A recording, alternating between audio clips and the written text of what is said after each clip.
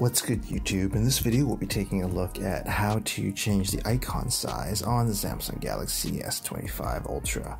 This will work for the S25 Ultra, S25, and the S25 Plus as well. If you like this kind of content or find this kind of content helpful, leave a message down below. Don't forget to subscribe, and thanks for watching.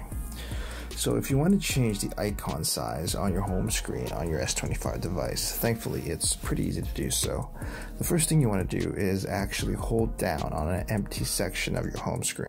Once you hold down, you'll be taken to this menu, and then from there, what you want to do is hit settings.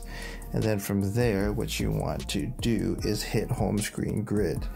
And then if you choose uh, a different home screen grid layout, it will change the icon size of the home screen to account for the different sizing. And there you have it, everyone. Just a quick tip on how to change the icon size on your Samsung Galaxy S25 series of phones. If you like this kind of content or find this kind of content helpful, leave a message down below. Don't forget to subscribe, and thanks for watching.